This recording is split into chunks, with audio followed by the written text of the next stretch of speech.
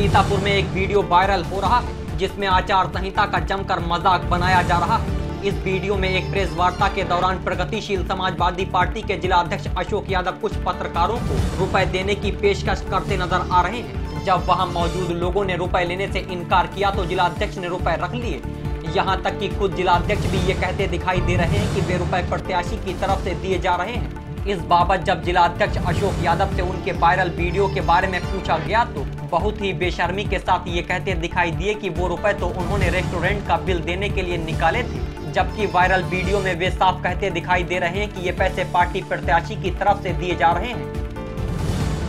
कितने लोग बात नहीं आपको हमने आपने फ़ोन किया था हमें पता ही नहीं था। सुनो ऐसे की बात नहीं। है। को वापस कर दिया हम लोगों को नहीं चाहिए।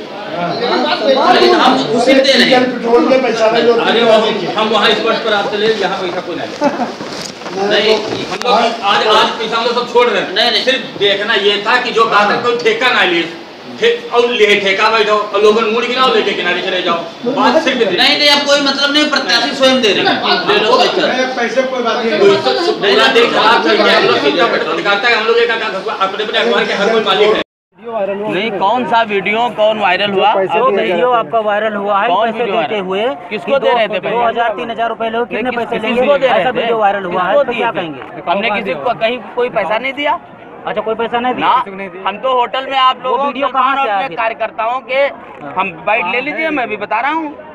मैं अपने कार्यकर्ताओं जो है- स्पर्श होटल नैमित सारायण में हाँ। हम अपने कार्यकर्ताओं को जलपान करा रहे थे। हाँ। जलपान का बिल हम दे रहे थे। हमने किस पत्रकार को दिया पैसा? और क्या पत्र ऑडियो है भाई साहब ऑडियो है तुम्हें। जिसमें जिसमें आपके पार्टी के जिलाध्यक्ष द्वारा पैसे का लेन देन करते पत्रकारों को वायरल हुआ। इस पर क्या कहेंगे? ये अभी ये हमें आपके माध्यम से बात पता चली है। मुझे इस संबंध में अभी कोई जानकारी नहीं है। आपने बात कही तो देखते हैं हम इसको दिखवाते हैं। अगर कुछ ऐसा होगा तो हम जाँच करके उसको अगर इस वीडियो में सत्यता पाई जाती है तो किस तरह की कार्रवाई की जाएगी आपके जिलाध्यक्ष की देखिए पहली बात तो इस वीडियो में कोई सत्यता नहीं होगी। वो कुछ और ही काम कर रहे होंगे। किसी ने खींच लिया होगा पार्टी विरोधी। मतलब लोग देख रहे हैं कि हमारा चुनाव उठ रहा है।